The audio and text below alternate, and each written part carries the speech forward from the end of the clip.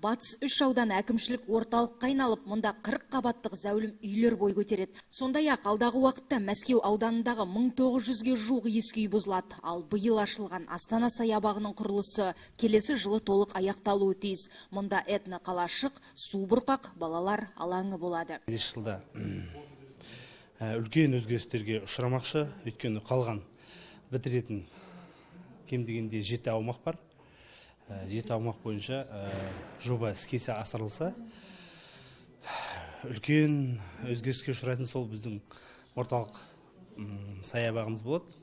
Қала оңтүстік батыс пен солтүстік шығыс бағытында дамуы тиіс. Қазір батыс 2 мен батыс 3 аудандарында қарқынды құрылыс жұмыстары жүріп жатыр. Әлеуметтік және коммерциялық нысандар бой көтеруде. Әйтсе де осы аудандардан жер телімін алып, игермей отырған кәсіпкерлер бар. Бос жатқан жер учаскелерін жергілікті билік сот арқылы қайтарып алмақ. Мәселен, соңғы 2 жылдың ішінде 98 жер телімі мемлекетке қайтарылды. Ә, өздеріңіз білесіз оның бәрі ақшаның бөлінуіне байланысты бюджетке байланысты инвестицияға байланысты. Ақша қалай бөлінеді? Инвестиция қалай құйылады? Солай бастаймыз. Бизнес орталық дейді ғой. Ә, ол ә, келесі жылы басталып бой көтеретін батыс үш тұрғын үй алабы. Ол жерде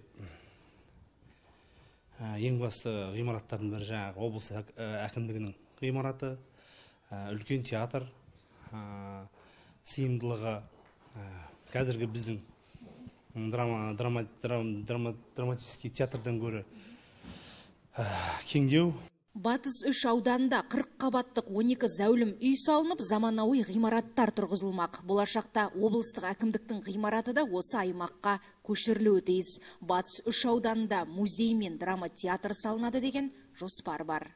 Жанар Датқызы, Аманжол Айтмағамбетов, Ақтөбе телеарнасы.